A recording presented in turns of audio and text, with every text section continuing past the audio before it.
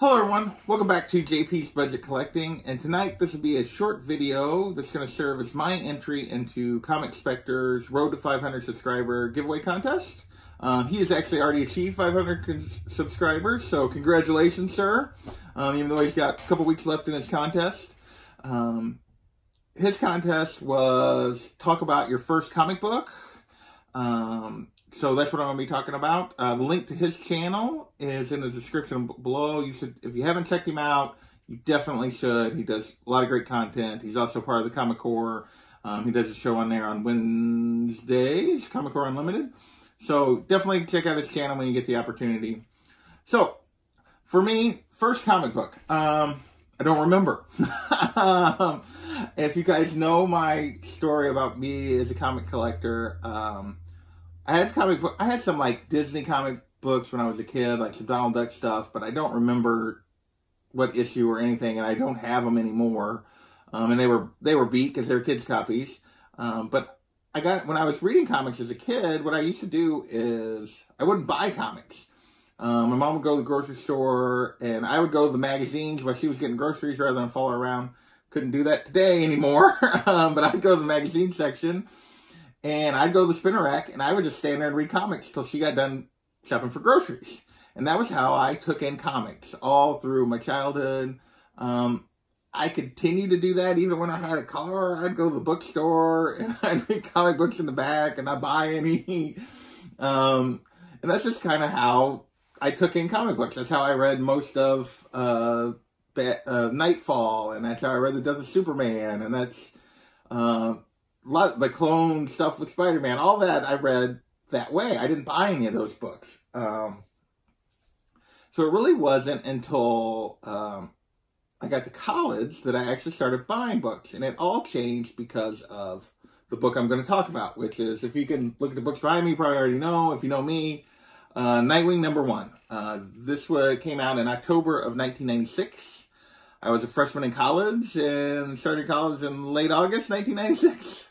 Um, went to the comic book store. This was the number one. This was a series I decided to get into. I mean, I knew who Nightwing was. Um, they used to be Robin, and I'd read some Batman stuff, so I knew a little bit about him. So I decided, hey, this would be a good jumping on point.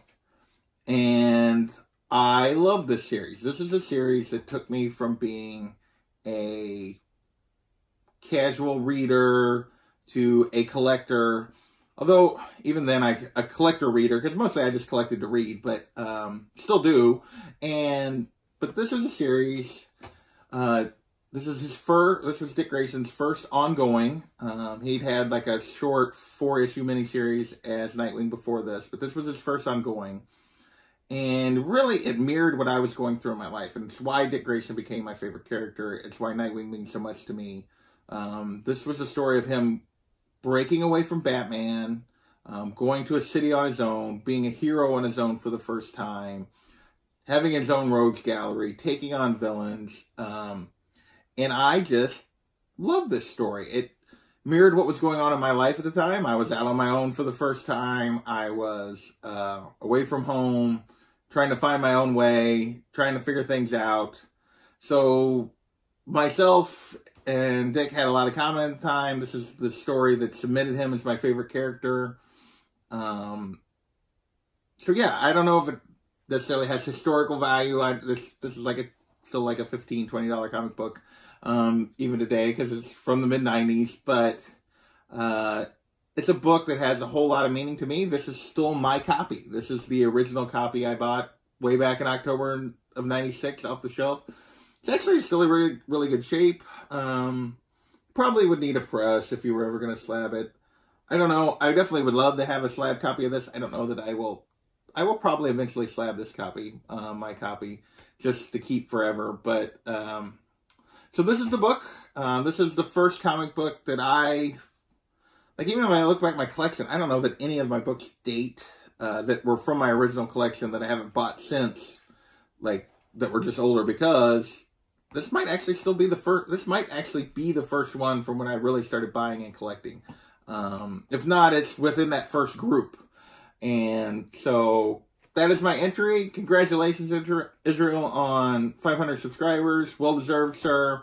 Um, I'm sure you will be pushing 600 in no time and beyond. Um, and that is my entry. Thanks for joining me, guys, and we will talk to you later.